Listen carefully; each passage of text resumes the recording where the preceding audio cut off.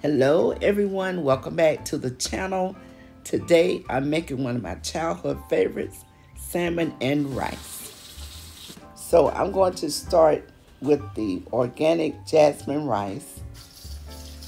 We have used plain rice back in the days, but I like this rice right here. I use it occasionally. And I had to wash it quite a few times but it's a very good rice. So I'm not measuring it. I'm probably using about two cups of rice.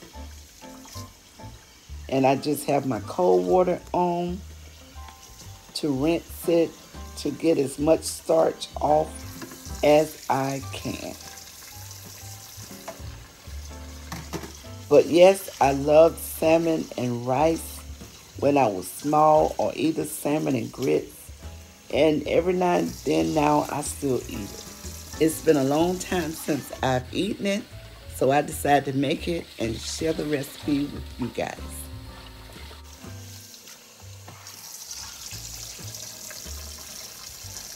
And I'm just going to be using one can of salmon.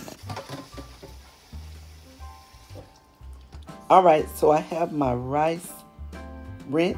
I have my oven uh, turned up. I'm going to bring it to a boil. Then I'm going to turn it back down. Just going to put about a teaspoon of salt in this. I'm using the pink salt. You can use the salt of your choice. You just need a pot of dry rice to go with this. So I'm going to use this frying pan right here for my salmon. So I added one fourth stick of salted butter and maybe about two tablespoons of olive oil.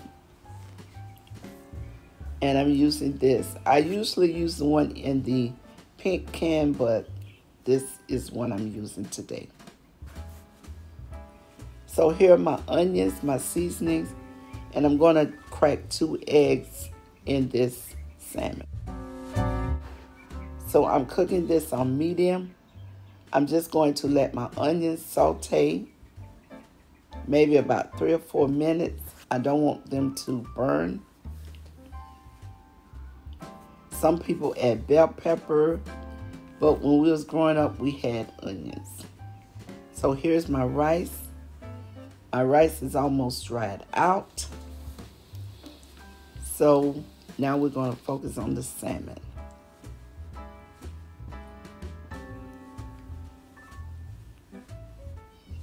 All right, so as you can see, I'm getting ready to pour my salmon into the pan. I usually pour it into the bowl and just take that little skin off, but I poured it in here and I'm gonna get as much off as I can.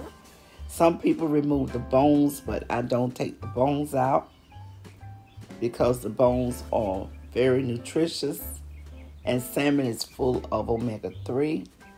Oh, I'm sorry, omega-3s. So I just leave the bone in because the bones will cook up during the cooking process.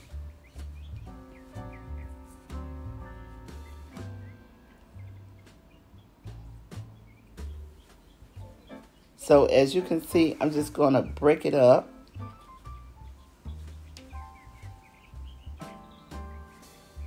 All right, I'm going to break it up as much as I can and just maybe leave a little bit of chunks in there.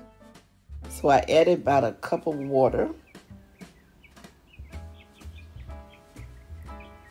Now I'm just going to let this cook. It doesn't have to cook that long because the salmon is really already done. So now I'm just adding a little bit of garlic powder. We always add a lot of black pepper to this. And just a little bit of salt. You don't have to add too much because the salmon is already salted. Now I'm going to crack my two eggs in here.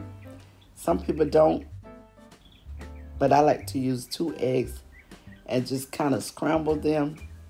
To me, it kind of separates the salmon a little. It might not look pretty, but honey, it is very tasty. So I'm going to let my eggs cook up until they are done. Also, I'll leave the recipe down in the description box. And if you like salmon and rice, this right here is like a stewed salmon. I really hope you get to try this recipe. So I have my lid on and I'm just going to let it cook maybe about seven to eight minutes until all the flavors marry. You can use this recipe with mackerel as well.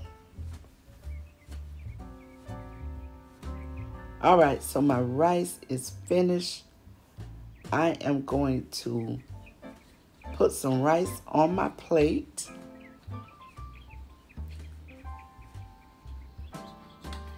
And I did share this recipe with my neighbors. They like salmon and rice. So I did share it with two of them. So now over to the salmon.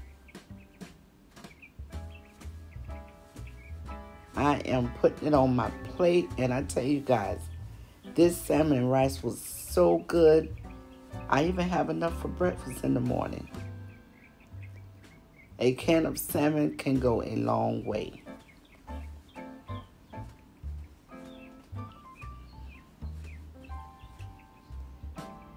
So here is my salmon and rice. If you like salmon and rice, guys, I really hope that you get to try this recipe. And I want to thank you for watching this video, guys. Don't forget to like, share, comment, and subscribe. Thanks for watching. Hope to see you in the next video.